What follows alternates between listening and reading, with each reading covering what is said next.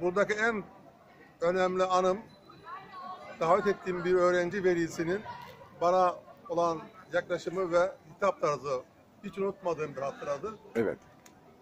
Çocuk, çocuğumuz sorun olduğu için anneyi çağırdık, veliyi çağırdık. Müdürü görmek istiyorum diye kapıdaki nizamiyeden girişte nöbetçiye beni müdüre götür diyor. O da ben burada ağaç dikiyor, ağacın üzerine gül dikiyorum.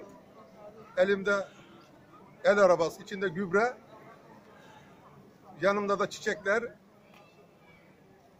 Çocuğa diyor ki ne oğlum diyor anan yerindeyim benden dalga geçme beni müdüre gönder diyor. Vallahi billahi teyze müdür o diyor. Geldi kardeşim dedi. Müdür beni istemişti ama sana gönderdiler dedi. Görüşebilir miyim? Dedim ki "Gır- müdür illa ki boynu kravatlı kalem efendisi mi olacak? İşte müdür dedim böyle zaman zaman çiçek de dikecek. Bugünü çocuklarınız için, sizin için dikiyorum dedim. Abarın, kazanınızı alayım dedi. Elinde bok torbasıyla gezen müdür de mi olurmuş dedi. Hiç unutmam.